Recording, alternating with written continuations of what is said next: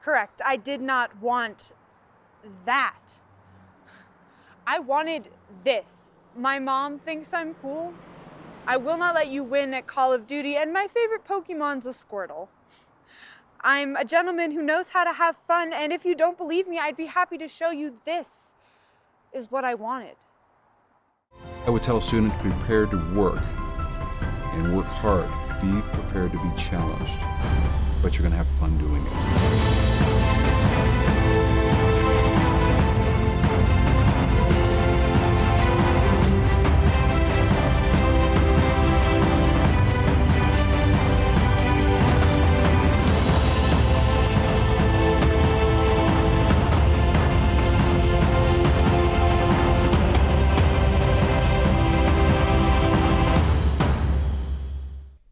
I'm not paying you to write about okay sexcapades. I want a lady player dishing some filth on her playthings. Think feminist pimp, Sylvia. Make him outstanding. Girls love that ride a cowboy crap. Okay, who's next?